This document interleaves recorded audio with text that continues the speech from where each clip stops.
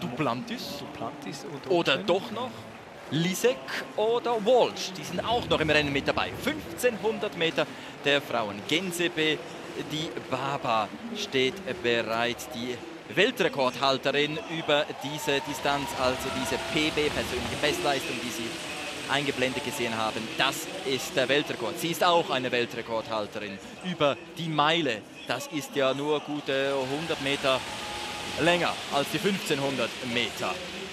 Dann haben wir Zegay hier, Jenny Simpson und sehr gespannt sind wir auf Konstanze Klosterhalfen aus Deutschland, die einen deutschen Rekord um den anderen unterbietet, ja vielleicht auch heute. Ich habe den deutschen Rekord mal rausgeschrieben, einfach so zur Sicherheit, stammt immerhin aus dem Jahr 1980. Delia Sklabas ist die Schweizer Vertreterin in diesem Rennen. Sie wird den Schweizer Rekord heute nicht unterbieten, davon gehen wir nicht aus, denn der ist sehr, sehr gut aufgestellt von Anita Weiermann. Delia Sklabas, die Junioren-Europameisterin über diese Distanz.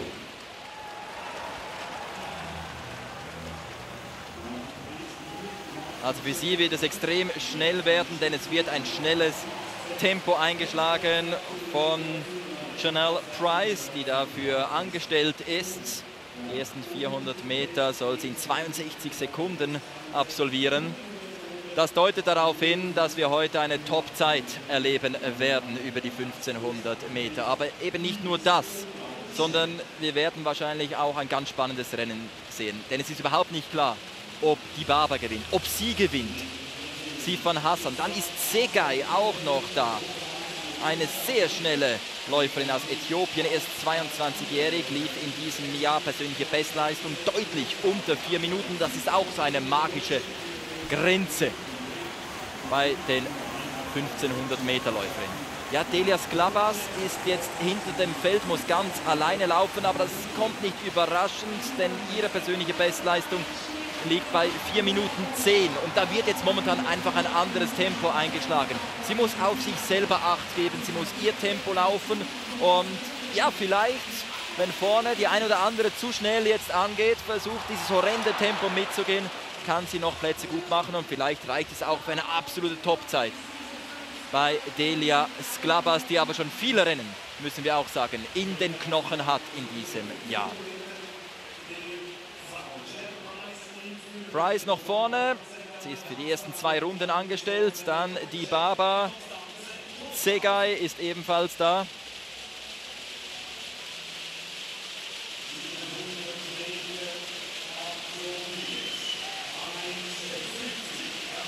Noch zwei Runden bis ins Ziel. Wir schauen auf die Durchgangszeit nach 800 Metern.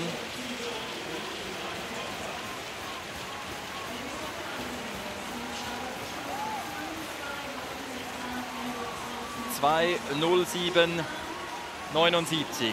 Man wollte bei 2.05 passieren, ist also leicht drüber und jetzt ist das Tempo nicht mehr sehr hoch. Jetzt wird taktisch äh, gelaufen. Jetzt kommt alles wieder zusammen, der ganze Pulk. Das sieht man jetzt eben.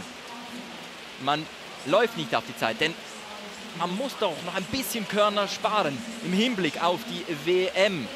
Aber man will natürlich sich heute behaupten, zeigen, dass man in absoluter Topform ist und das Rennen für sich entscheiden. Die Baba von der Spitze aus. Klosterhalfen ist da. Hassan hinter der deutschen Läuferin. Die beiden kennen sich bestens. Bei, trainieren beide zusammen in den USA bei Roberto Salazar in diesem Oregon-Projekt. Und wir gehen auf die letzte Runde. Die Baba von der Spitze weg und Klosterhalfen, Segay, Hassan, alle sind sie da. Die Baba hat das Tempo angezogen, Klosterhalfen hat da Mühe zu folgen, aber Hassan ist da bei die Baba und jetzt zieht Hassan bereits an die Baba vorbei. Was für ein Schlussspurt von Sifan Hassan. Da kann die Baba, so scheint es nicht, folgen. Hassan schaut zurück und die Lücke, die ist bereits enorm. Noch 100 Meter bis ins Ziel. Und Sifan Hassan. Klosterhalfen ist Zweite momentan. Aber vorne Sifan Hassan. Klosterhalfen an Position 2. Und die Deutsche kann diesen zweiten Platz halten, wird Zweite werden. Ah, knapp unter vier Minuten wird sie auch bleiben.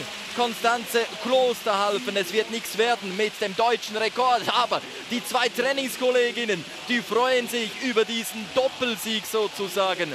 Sifan Hassan 3,57 08 und das, nachdem man eine Zeit lang gebummelt hat.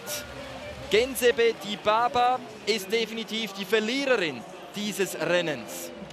Delia Sklavas mit einer Zeit ungefähr von 4,15 ins Ziel gekommen, hat sich wacker geschlagen, da hinter der absoluten Weltelite. Debus Stafford wird Dritte. Die Kanadierin läuft Landesrekord in 3,59, 59 und die Baba trottet davon. Nicht unter vier Minuten geblieben, nur Platz 4 für Gensebe Dibaba. Ja, das ist schon erstaunlich.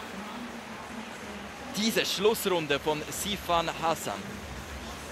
Sie hat übrigens Ramadan gemacht, hat im Mai stattgefunden und trotzdem hat sie ihr Training durchgezogen. Man darf ja tagsüber nichts trinken, nichts essen und das ist nicht immer einfach. Sie hat auch Wettkämpfe bestritten und die sehr, sehr gut. Hier ist es eng geworden, auch mit Konstanze Klosterhalfen. Segai wollte man da aus dem Weg haben. War eine brenzlige Situation für Sifan Hassan, hat das aber gut gemeistert. Sie hat sehr gute Wettkämpfe bestritten und dann war dieser Ramadan-Monat zu Ende und dann kam Monaco und sie war sich eigentlich schon vor Monaco sicher. Jetzt darf ich ja wieder trinken, auch essen, wann ich will. Das wird extrem gut kommen in Monaco. Und es ist dann auch extrem gut gekommen mit dem Weltrekord. Was diese Frau leistet, ist ohnehin unglaublich. Wir erinnern uns ans letzte Jahr an dieses Doppeln von Zürich und Brüssel an zwei Folgetagen mit zwei Auftritten. Mit dem Auto ist sie schnell noch nach Brüssel gereist, in der Nacht. Genau, um dann dort einen nächsten Start hinzulegen. Also unheimlich zäh und vor allem auch unheimlich erfolgreich. Sifan Hassan. Also zwei glückliche Läuferinnen Selbstverständlich gibt es immer Diskussionen und die möchten wir hier auch noch natürlich anmerken. Hassan und Klosterhalfen trainieren bei Alberto Salazar.